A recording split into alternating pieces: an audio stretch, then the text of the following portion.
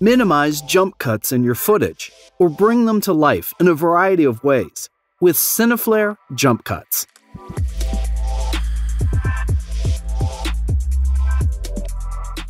Jump Cuts was created exclusively for Final Cut Pro. You can find them in the Titles browser under Cineflare Jump Cuts. The presets are broken up into categories based on what they do motion, fades, overlays, blurs, creative, and reframing. These transitions can be used to fix or minimize jump cuts in footage, or used as a creative tool to really enhance your timeline. Let's minimize jump cuts first. I've got a clip on my timeline that is a talking head from a one camera shoot with no B roll. The jump cuts here are really distracting, so let's make them look better.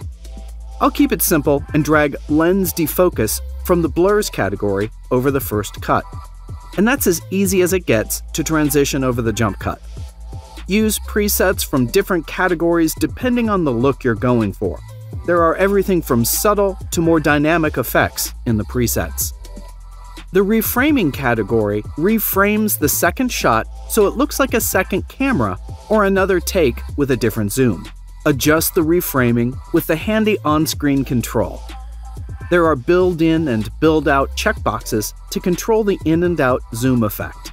This is particularly effective if you've got 4K footage on a 1080p timeline, as you've got a lot of zoom room there.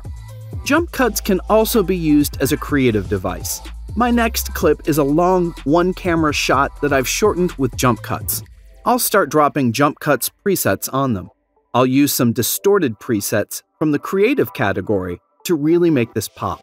Also, there's nothing stopping me from stacking presets if I'd like. And I very quickly got a much cooler sequence.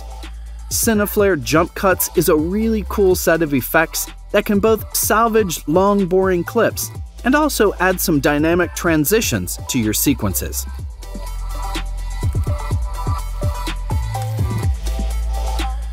Try out a wide range of great audio and visual effects at www.thebrandingcoach.com.